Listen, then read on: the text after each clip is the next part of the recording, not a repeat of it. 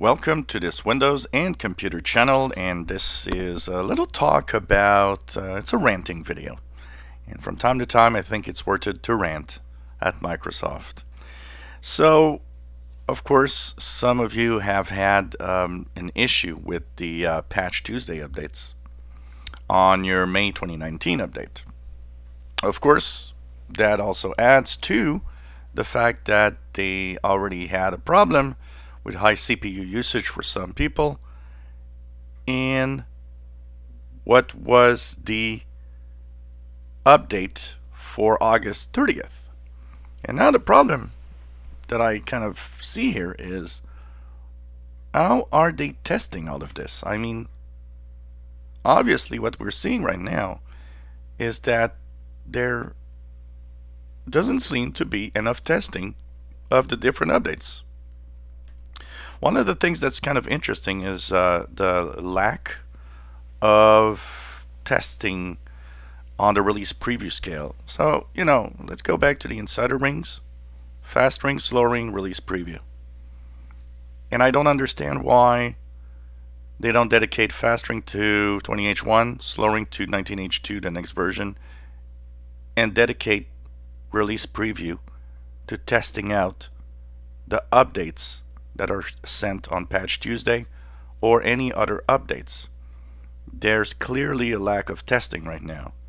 And what is sad is that it's turning what started out as a good rollout of the May 2019 update into kind of, you know, a horror movie for some.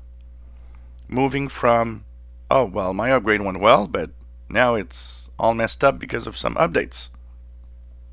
It's crazy because I what is interesting to see and what I do see here because I see your comments is that 1903 is moving from a oh everything went well to a wow I um, I wish I didn't update to 1903 I'm having problems with these updates. I am happy to stay to 1809 and not have moved on to 1903 because I see that people have problems it's not supposed to be like that. I mean, yes, there will always be a small amount of people that have problems with updates. It always happened as far back as Windows exists. It always been from time to time. There's always a mess up. There's always a problem that Microsoft will push an update that wasn't tested correctly. But now it's some kind of a joke. You look at it and you're like, okay, you tested May 2019 updates a lot to make sure that it was okay, but you're messing it up with future updates that are getting into the May 2019 update.